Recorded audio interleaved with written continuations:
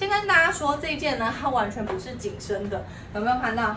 它的 range 很大，然后呢弹性很好，所以呢，如果你是只有 XL 的人，会比较合紧一点。好，这一件呢，它是我们新款的螺纹面料高弹的，我只要穿下来呢，才拉那么一点点，就是高弹的。所以在手袖、在肚子全部都是高弹。